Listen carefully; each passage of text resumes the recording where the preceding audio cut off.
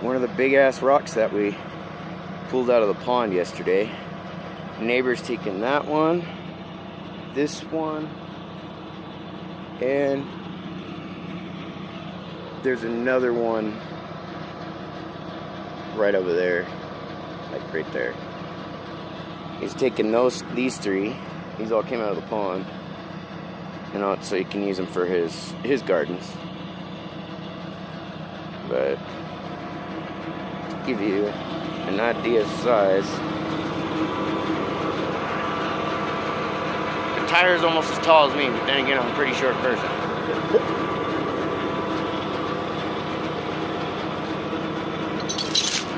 Hopefully we see this thing get lifted with the extra chain.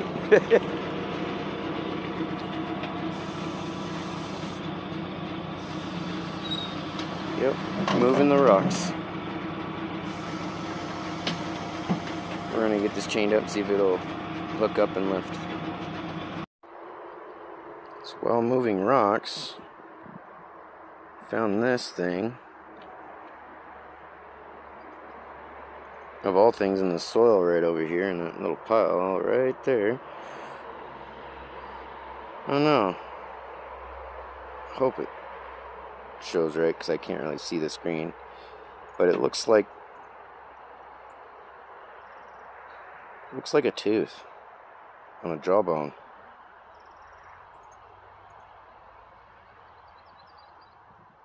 Or teeth in a part of a jawbone, I don't know like the canine. Weird.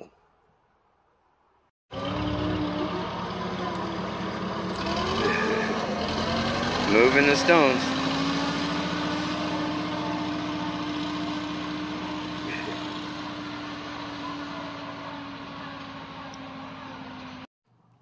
So, all that's left to do really is clean up.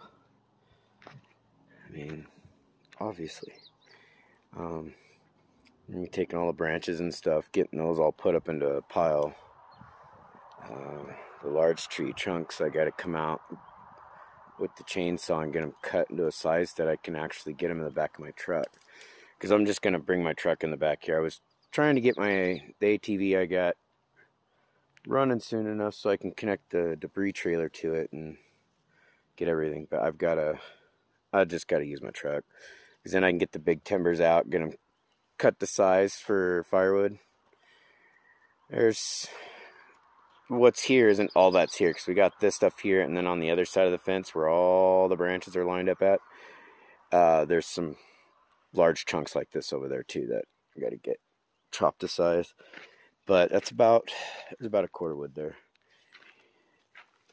Um, this is on the outside of the pond area. Uh, I still got to get some of this raked and cleaned up. I'm probably I got to get a another hose so that I have enough hose to enough water hose to get the sprinkler out here so we can kind of harden the ground up a little bit as we rake it so it's not so dusty. Um, right here where this pile is of all things, I'm actually gonna bring some of these larger rocks around to make a small uh, fire pit type thing so that there's kind of a little fire pit here. I got, I think I got a couple flat cinder blocks still that I can use in here to make like a stair, like steps going up this to make it easier to go up this. And then when it's full of water, then get in the pond over there.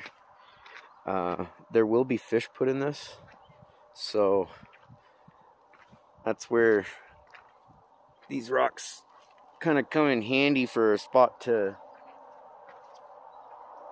of all things, cast the fish line out carefully. Obviously, you don't have to cast out very far. but kind of, like I said, uh, we got some cleanup to do. Um, give you kind of a final showing of all the shit we pulled out of here. All these bottles here. It's a roll of plastic, which ironically, uh, if I can find some carpet before we start to lay the pond liner down, I'll lay a chunk of carpet down in the bottom area, the deep spot, because that's where it's mostly rocky and most of the sharp shit's at. It'll help keep from anything that I may have missed from puncturing through the plastic so easy. But then I'm going to put this over the top of that as an added layer. And there should be enough there to get the, at least the whole bottom part. Then we found these, along with that other tire that was over there. Um, these I actually put to the side because that's going towards a project and all. So over here, zoom in, see kind of that wooden structure right there. Those are all made out of branch. That's for the garden. Um, I got to get these moved. This pile of crap. I'll probably just move it over with this pile over here.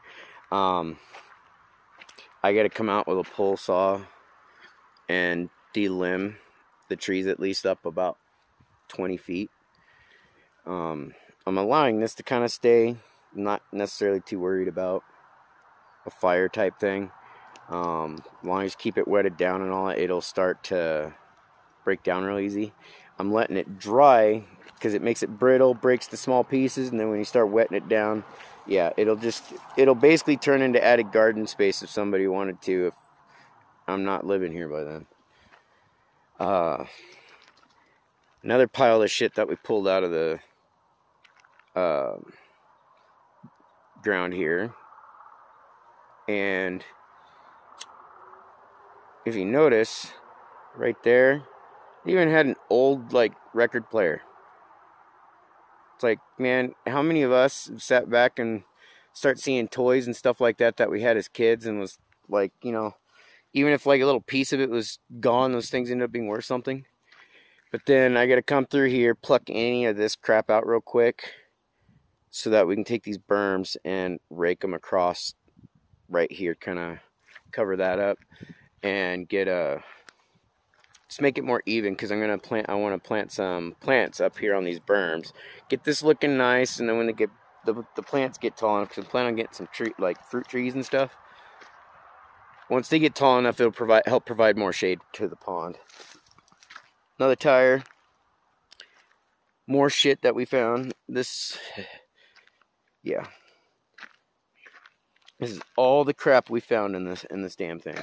And I remind you, I was you know looking at this yesterday when we were pulling this crap out. I couldn't help but think to myself how uh the people that did this are part of the same generation that are trying to tell us how to take care of our environment. Yet we're the ones cleaning up the environment that they fucked up. I mean, this is obvious. The one thing that you're not seeing in this pile, because uh, over where I was standing on the other side, there's another small pile over there. We actually found a couple of car batteries, maybe a boat battery on one of them, but yeah, it's it was uh, pissed me off pretty good actually because you don't you just don't do that. That really fucks the ground up and any plant life that's around it. But then yeah, it's a lot of property for one person by themselves to manage, but I'm doing my best and I'm thankful that I had the neighbors here to help with this. Could you imagine me trying to di dig this out with just a pickaxe and, and shovel? Because I was getting ready to. But then this is the original stuff that we first found when we first started to dig this out. We didn't expect this to turn into that. And there's another pile, the one I was just talking about, right there. And then, of course, the tires and everything else. Um, in fact, there's actually another pile from this that I had already moved when we pulled this out because this was a little bigger. I'm trying was trying to get everything moved so I can get somebody out here to just grab it all and make it easier. But I realized some of this stuff is actually too heavy for me to pick up by myself. So I, I'm gonna get someone out here that is able to at least pull in through here with the trailer, and I'll help them get all this loaded up so that they're not doing it by themselves. But then we get rid of it, get this shit cleaned up better and get it looking more presentable. So, yeah, um, I'll have to move some of these rocks out of the way before I go lay the uh, pond liner down because it's to overlap a little bit. I'll have to kind of create a lip around this thing as I go and kind of pin the pond liner down and then put a little soil over the top of it or and all that to help hold it in place while it gets filled with water. But yeah, from here looking down, I don't know how it is on camera, but for me, from point of view, looking down there, that that really don't look that far down. It doesn't look that deep until you get in there and you realize that it's like maybe yeah, almost about 12 feet deep, especially right there.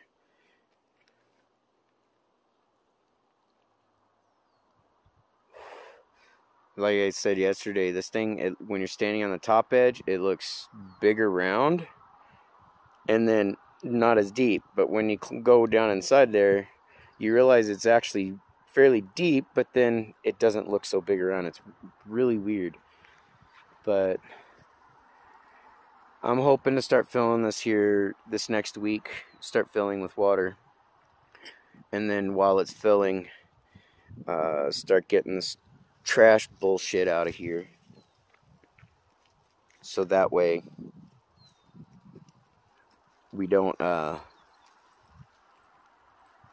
yeah, have this still sitting here. As you can tell like uh there's a couple large rocks, then there's like looks like a wire and a little green thing there.